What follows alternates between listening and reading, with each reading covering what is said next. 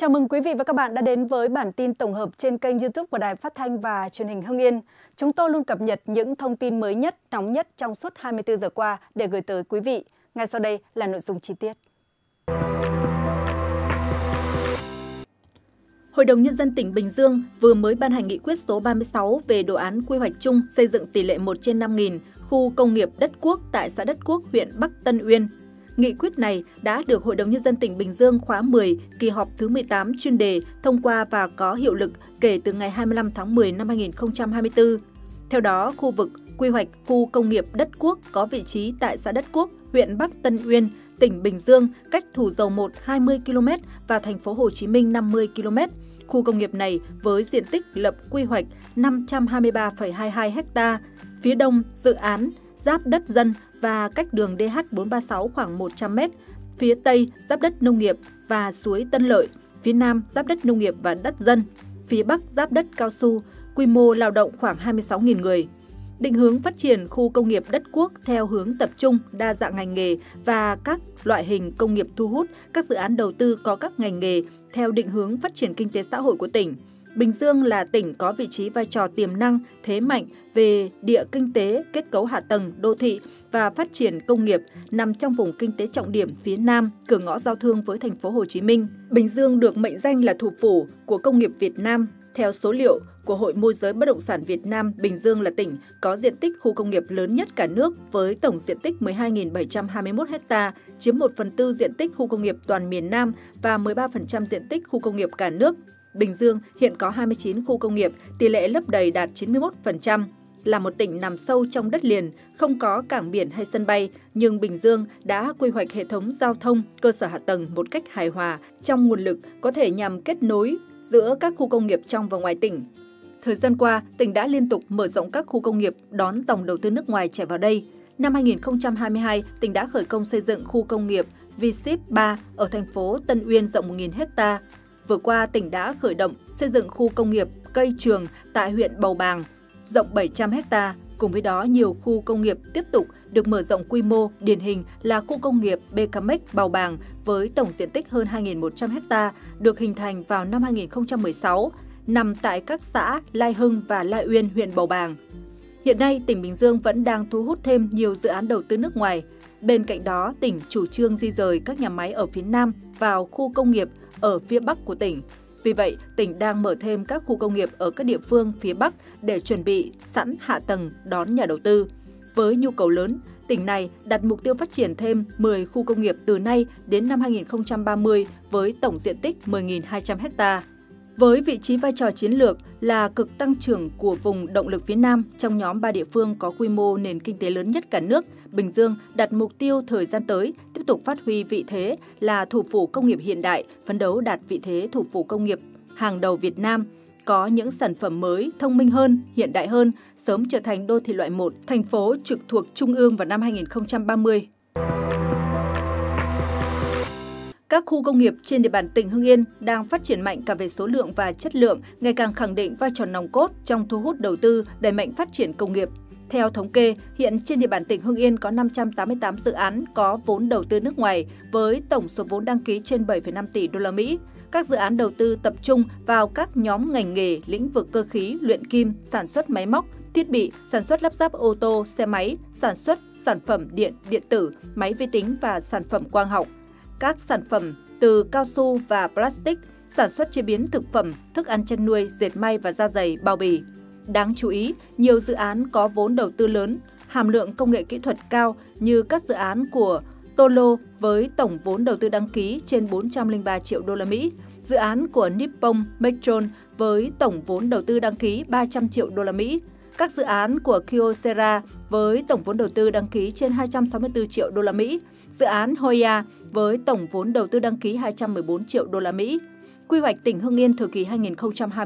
2021-2030, tầm nhìn đến năm 2050 được Thủ tướng Chính phủ phê duyệt đã xác định tổ chức các hoạt động kinh tế xã hội tỉnh Hưng Yên theo mô hình tổ chức không gian, hai vùng động lực, hai hành lang kinh tế, năm trục phát triển, ba trung tâm tăng trưởng – từ đó mở ra không gian mới, gia tăng nhu cầu kiến thiết, đầu tư, xây dựng cũng là yếu tố tăng thêm sức hút đầu tư của tỉnh trong thời kỳ quy hoạch bên cạnh những tiềm năng, lợi thế hiện hữu của mình. Theo quy hoạch tỉnh Hưng Yên thời kỳ 2021-2030, tầm nhìn đến năm 2050, Hưng Yên có 35 khu công nghiệp được quy hoạch phát triển với diện tích 12.048,63 ha. Giai đoạn đến năm 2030, quy hoạch phát triển mới 30 khu công nghiệp với tổng diện tích 9.183,53 ha. Quy hoạch phát triển mở rộng 4 khu công nghiệp với tổng diện tích là 405,1 ha. Tổng diện tích đất quy hoạch phát triển khu công nghiệp giai đoạn đến năm 2030 là 9.588,63 ha. Giai đoạn sau năm 2030, quy hoạch phát triển mới 5 khu công nghiệp với tổng diện tích 2.460 ha. Ông Vũ Quốc Nghị, trưởng ban quản lý các khu công nghiệp tỉnh Hưng Yên cho biết, địa bàn tỉnh hiện có 17 khu công nghiệp với diện tích hơn 4.300 ha, trong đó 10 khu công nghiệp đã đi vào hoạt động và tiếp nhận dự án đầu tư. Với đầy đủ hạ tầng kỹ thuật đồng bộ, hiện đại và vị trí đắc địa, các khu công nghiệp có lợi thế và sức hấp dẫn lớn trong thu hút đầu tư, nhất là các dự án đầu tư trực tiếp nước ngoài, qua đó khẳng định vai trò nòng cốt trong thu hút đầu tư, đẩy mạnh phát triển công nghiệp. Các nhà đầu tư nước ngoài đăng ký đầu tư vào trong các khu công nghiệp trên địa bàn tỉnh Hưng Yên đến từ 22 quốc gia và vùng lãnh thổ,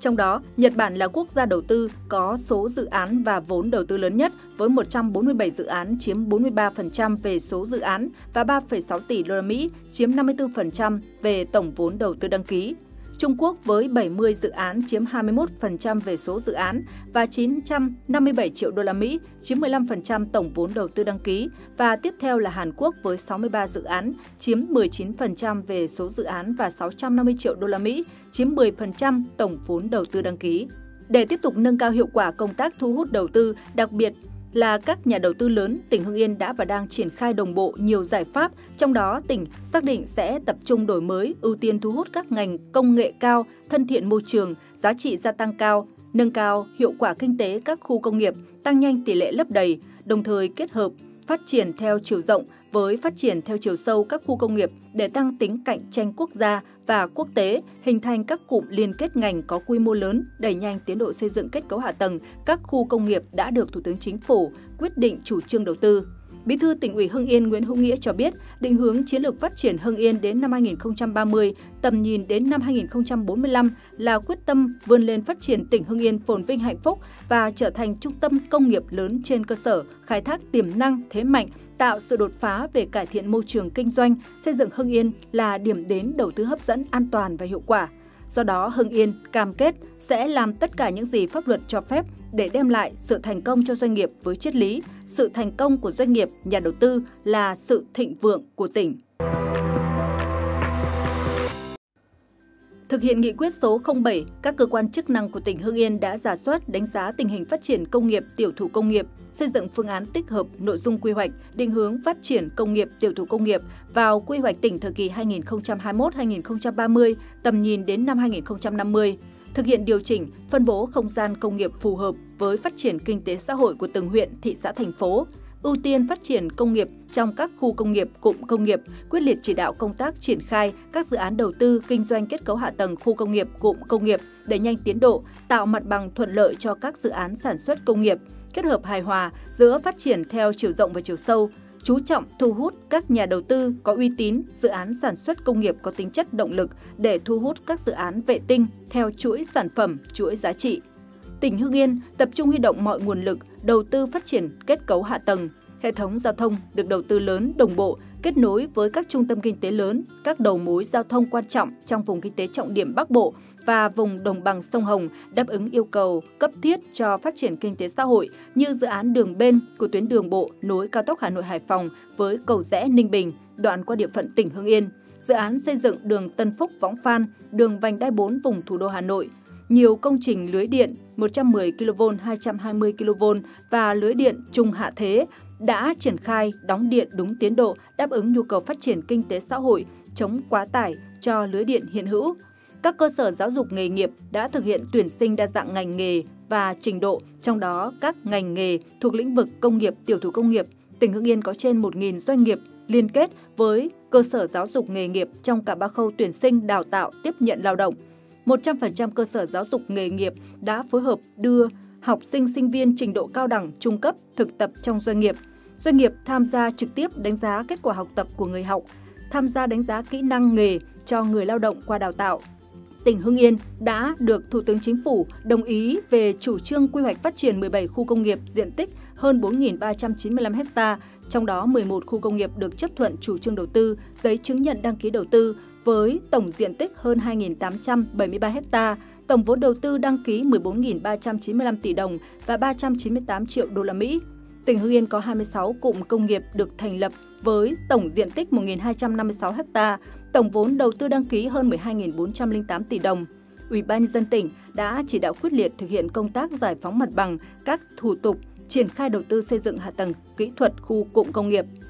Trong 3 năm qua, tỉnh Hưng Yên đã giải phóng mặt bằng và bàn giao gần 3.000 ha đất cho các chủ đầu tư hạ tầng khu công nghiệp và gần 500 ha đất cho chủ đầu tư hạ tầng cụm công nghiệp. Các khu công nghiệp của tỉnh Hưng Yên có khoảng 532 dự án còn hiệu lực, 250 dự án trong nước và 282 dự án FDI với tổng vốn đăng ký hơn 33.530 tỷ đồng và hơn 5,5 tỷ đô la Mỹ. Các dự án trong các khu công nghiệp tập trung vào các nhóm ngành nghề, lĩnh vực chủ yếu như cơ khí, luyện kim, sản xuất máy móc, thiết bị, sản xuất lắp ráp ô tô xe máy, sản xuất sản phẩm điện, điện tử, máy vi tính và sản phẩm quang học, sản xuất sản phẩm từ cao su và plastic, sản xuất chế biến thực phẩm, thức ăn chăn nuôi, dệt may và da dày bao bì. Các nhà đầu tư nước ngoài đăng ký đầu tư vào trong các khu công nghiệp trên địa bàn tỉnh Hưng Yên từ 19 các quốc gia vùng lãnh thổ như Nhật Bản, Hàn Quốc, Trung Quốc, Mỹ, Anh, Ý, Đức, Thụy Sĩ, Canada, Singapore, Hà Lan, Thái Lan. Các dự án đi vào hoạt động đã tạo việc làm cho khoảng 76.000 lao động.